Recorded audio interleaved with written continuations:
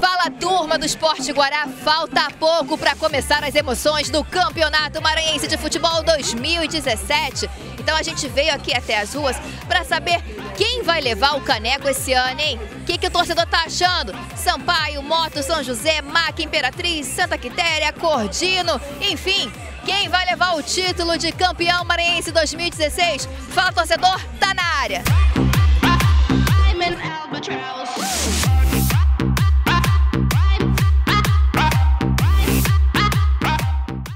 Assunto é futebol. Tu tá com o cabelo do moto, tu é motense?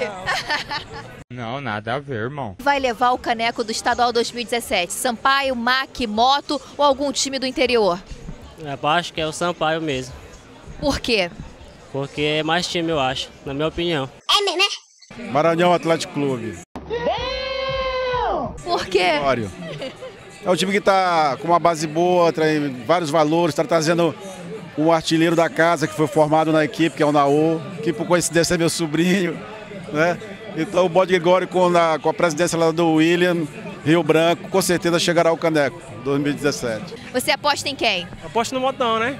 Motão, Papo do Norte. Tá confiante que o Tricolor vai levar o caneco de 2017 do Maranhense?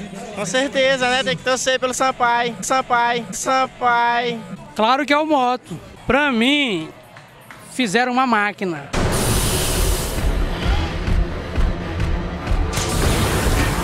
Vieram para formar uma máquina para a nação rubro-negra.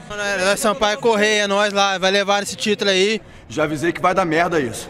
E aí, dupla, Fidelix e Dejair, quem leva o caneco? Sampaio, Mac, Cordino, Moto, Imperatriz, Santa Quitéria, Cordino, Americano. Faltou mais alguém? Vocês completem aí do estúdio, hein? Ana Tereza com imagens de Fábio Bala, partiu o estúdio do Esporte Guará.